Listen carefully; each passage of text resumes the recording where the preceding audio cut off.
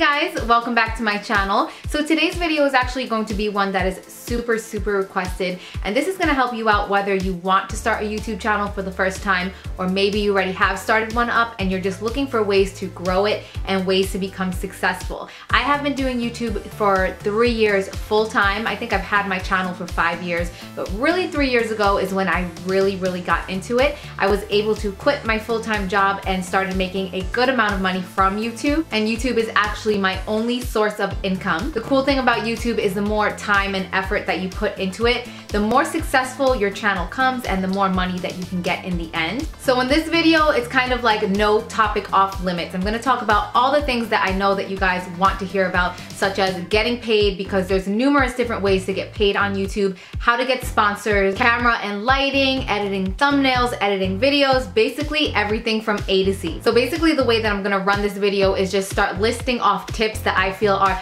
really, really helpful. And these are the things that I would wanna know when I was first starting my channel that I wish there was someone to tell me. So the number one thing that I'm gonna recommend to you guys is to be really scheduled and organized with your work. Since YouTube is my full-time job, what I like to do Monday through Friday is actually set out a schedule. For me, I work nine to five because I told myself, okay, if this is gonna take place of a full-time job, I'm gonna work just as hard as if it was a full-time job, nine to five. Now, I personally wake up with more energy in the morning. I know some people are kind of like night owls and they feel like they can have more energy and be more present in the moment at night. So I suggest that you have a certain day that you film every single week. For me, I have two days a week that I film and it's always first thing in the morning when I wake up. So know if you're gonna film Monday through Friday or on the weekends if you're working around another job and if you're gonna do morning or night. And then I also like to split up my week. I have my filming days, my editing days, my email days, and then my future video planning days. So I like to have everything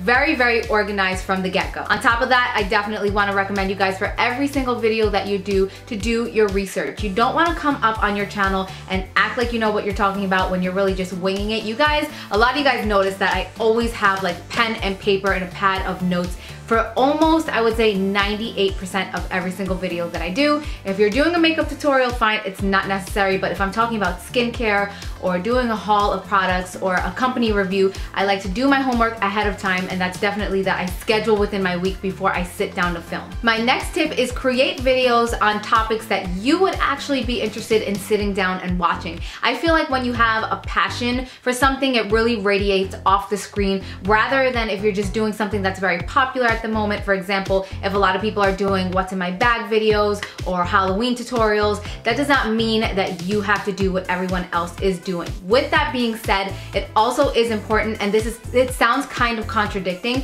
but you want to come out with videos also um, that are what people are searching at the moment. So again, around Halloween time, a lot of people do search for Halloween tutorials, but maybe you don't feel comfortable doing something like that, or you're kind of just doing it because you feel like everyone else is. Maybe you're into more Halloween food recipes or Halloween decoration, DIY crafts. I would find a way to come out with videos that you know are being searched at the moment, but it's also something that you're passionate about. I would definitely think about what time of the year is it. For example, right now we're in summer, so a lot of times right now people are searching for summer recipes, for summer outfits, for summer makeup, for summer hair tutorial, really anything related to summer. And then as we get towards the end of the summer, it kind of drifts off to going back to school. So back to school outfit of the days, back to school um, lunch recipes, back to school makeup tutorials and stuff like that. So basically to sum that up, I recommend that you come out with videos that you're passionate about and that you know are being searched at the moment, but not what you just see everybody else doing. Next tip is utilize tag words. There are so many girls that I know that do YouTube that kind of just leave that little tag word box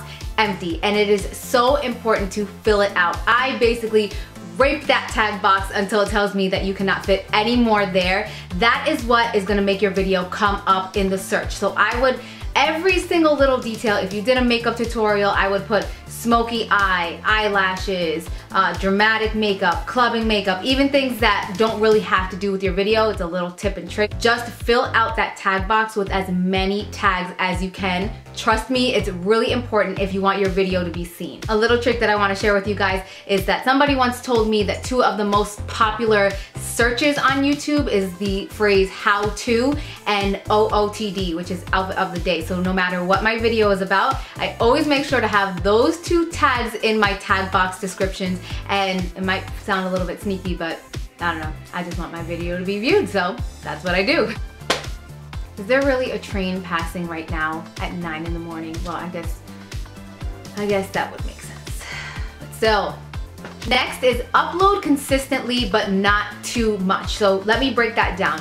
If you're coming out with a channel that's brand new or that you're trying to grow, what I did before I got to my first 100,000 subscribers is that I came out with a new video every other day. And I feel like having so much videos out there really helped to get my channel out there. So I do recommend that you come out with as much videos as you possibly can. But with that being said, I would choose quality over quantity. Don't come out with half-ass videos or crappy videos just for the sake of getting a video out there. I feel that if you have a video that has potential to go viral or something that will be searched and viewed a lot, it's gonna help you out a lot more in the long, the long run, the long, long term, rather than just having a lot of videos or a lot of little videos that nobody's really gonna watch. So I do recommend that you come out with as much videos as possible, but stand behind each and every single video that it's a good quality video and not something that you're just putting out there there for the hell of it. So my next tip is invest in good lighting and an okay camera. I don't think that you have to have the top of the line most amazing camera out there. There are a lot of point and shoot cameras or even those cameras that kind of have that little selfie screen that pops up. I actually had one and when I went on vacation I thought I packed it and I either left it in the taxi on the ride to the airport or I don't know, it vanished into thin air. I wish I had it to show to you guys but it was like $250 and it's basically a point and shoot camera but it has a little LCD screen that pops out of the back so you could see yourself, like a viewfinder, so you could see yourself while you film. I recommend investing in a camera like that, not in what I have. A lot of people ask me all the time what camera do, do I use, but this is a camera that I invested in after two years of really having the money from YouTube to invest. I don't believe that you should get this camera off the bat, but for those of you that are wondering, I use the Canon Rebel T5i with the standard regular lens. I have purchased two other lenses to go with it, but for some reason the kit lens works best for me. And then as far as my lighting, I get this question a lot. I use a Diva ring light I know that if you search ring light into Amazon, that there are a lot of other alternatives that are maybe like around $200, but again, that's something that I do not feel that you need to invest in when you're first starting YouTube. I would go to Target and get two of those like tree branch lights that have like maybe three or four. I'll pop a picture up right now because a lot of you guys are probably like, what the heck is she talking about? Um, I would purchase those lights. They're probably like $15 each from Target. Put one on each side, bam, good to go. Next tip, use YouTube to learn how to edit videos. This is something that I had to do. It's something that I still have to do. My editing game, not gonna lie to you guys, is not that strong at all. I feel that I do the bare minimum. There are some people that I'm personally friends with that I feel like they have so much skills in the editing department, but that is what makes their channel their channel. I'm not gonna copy anyone. Um, this is my style of doing things and I mean, I would like to improve myself a little bit, but anyway, I am going off on a tangent. Basically what I wanna tell you guys is use YouTube to learn how to edit videos. The really popular ones here on YouTube are iMovie if you have a MacBook. I personally have a Windows computer because I got one that is specifically for video editing. It's called a Lenovo and it's a video editing editing slash gaming laptop. So it has a lot of room on it to really store a lot of things. That was another investment. It's even more expensive than a Mac, but I feel like that was something that I was having a problem with. My last computer crashed all the time and it was something that was really getting annoying to me. So that's something, again, down the line that I invested in. If you already have a Mac, you can go ahead and use iMovie. And if you have a Windows computer, you can use what I use. In the beginning, I used, um, oh, what the heck is the name of that? It was Movies Window Maker. No, Movie, Windows Movie Maker, I think was the name of it. And it was very standard, but it started being a little bit choppy and messed with the quality of my videos. If you're just beginning, I do feel like it's okay to use, but what I use now on my Windows com computer is my Magix Movie Edit Pro. And I will put the name here because a lot of you guys always ask me about it. It was a free download off the internet. I didn't have to pay anything. And in order to learn how to use it, I just YouTubed it. Music two things. Either one, take full advantage of the YouTube music library. It's right on the side. It says library over by your analytics and your settings. YouTube has a library of music that you can download and use for free. Whenever I venture out into other music, my videos get flagged and I cannot have ads on them, which means I do not get paid. Um, if you want to kind of take a risk, you can have like independent music in your videos where you contact um, different people on YouTube that have covers or if you just um, search different remixes to songs that you really like, say it's a I don't know, Drake song or something that you like and you type in Drake remix and you find someone that has it on YouTube or a cover, you can download it and put it into your video if you have permission from them. But I just have the worst luck with music. That's why I stick to the YouTube, the YouTube music library or else my videos get flagged, which is the most annoying thing ever. Next tip, catchy title and thumbnails really, really important. That is like the first impression that someone is going to see to make them want to click on your video. If you have a really crappy dark thumbnail, I feel like you're not gonna get any views on your video. If you have a whatever title, you're not gonna get any views on your video. You have to play around with words and make it appealing to the viewer. So basically for the pick um, uh, what am I talking about? The thumbnail, um, what I like to do is edit the entire thing on my phone. I use PicStitch and then I use shot text to add the title. I play around with it a lot. I play around with the brightness, with the sharpness. I add colors in, sometimes I add emojis in. If you guys wanna see exactly how I edit my thumbnails on my phone, I can definitely do a video on that. I know a lot of other people, I would say the majority of people on YouTube use picmonkey.com if you wanna go ahead and edit it on your computer. And definitely just make sure that you dedicate the time to doing that because in the long run, it can have a big impact on how many people view your video. The next tip that I wanna talk about is having a nice background. You don't need to have a fancy background. I just feel like it needs to be clean and bright. There are a lot of times that I feel just filming in front of a plain white wall will look better than half of the backgrounds that I see on YouTube where it's dark and dingy or cluttered and messy. You want it clean, straight lines, simple, nice little ambience. Okay, this video is getting super long and I still have a lot of tips that I wanna share with you guys, so I'm going to try and speed it up. What I wrote next is collab and take advantage of social media. If you feel like you don't really know a lot of people, you don't know who to collab with, social media, Twitter, Instagram, Facebook, great way to meet people and get yourself out there. Question that I get all the time, how do I get companies to work with me? This is what you do tag them. First of all, in the tag words, say that you did a haul where you featured all Revlon products, all Maybelline products, all e.l.f. products. Put them in your tags because what those companies are gonna do is they're gonna search to see who is talking about their videos and in return, sometimes they contact those creators. The name of the game is to get them to notice you. Again, social media, tag them on Instagram, put it on their Facebook wall, put it on Twitter, get the company to notice you. I also recommend taking advantage of websites such as FameBit and Reelio. Basically what they are kind of like the newspaper ads for companies that want to work with YouTube creators.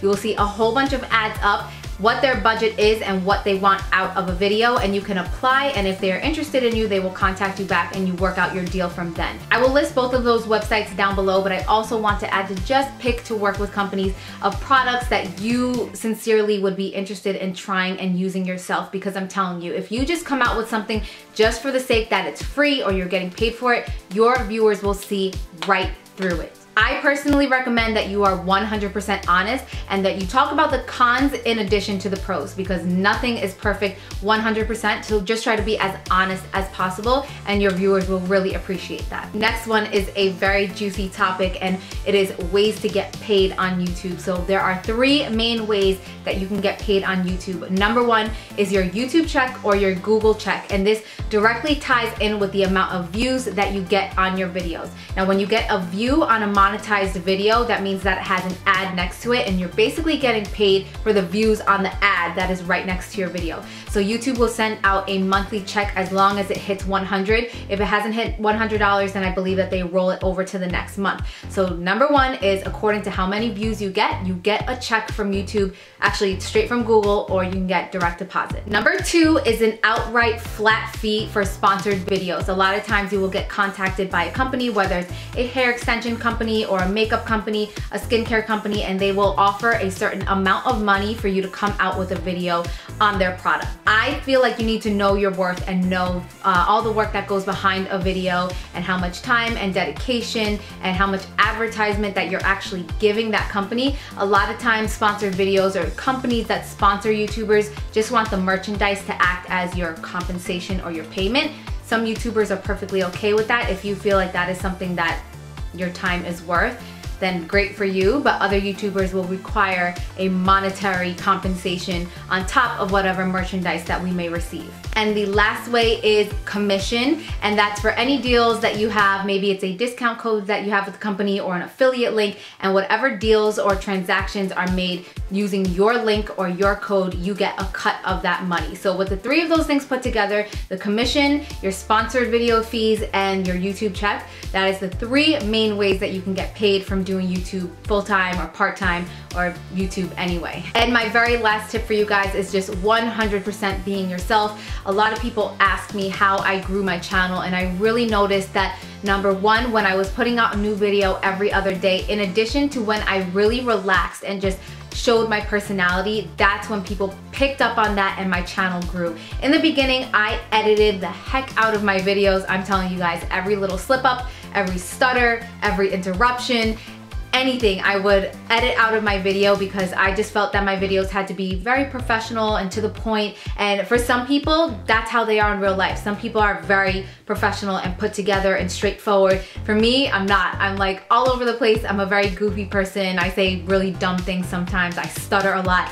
And once I started to show my true personality on my channel, I feel like a lot of you guys noticed that and liked that, um, that you guys felt that you could relate to that. So I definitely would say just be yourself and it really does, it really does just come across the screen. So that was a heck of a lot of tips that I just mentioned to you guys. Holy crap, this video this video is 37 minutes long, so I'm gonna see how much I can chop it down. If you guys have any questions at all, definitely let me know down below. Um, also, if you guys have any questions that you see that you would like to know, just thumbs them up so they can go to the top and I'll be sure to answer those because um, I know what it's like. I know what it's like starting a channel and not really having anyone to go to for answers and a lot of my tips and tricks are just self-taught because there is no one that I could basically go to. I just had to figure it all out on my own. So I'm definitely here to help you guys. Be sure to follow me on Instagram and on Facebook, on, on what? On Facebook and on my second channel, which is my vlog channel, which is my really crazy ratchet channel. So I will see you guys all soon. I love you. Have a good day. Bye-bye.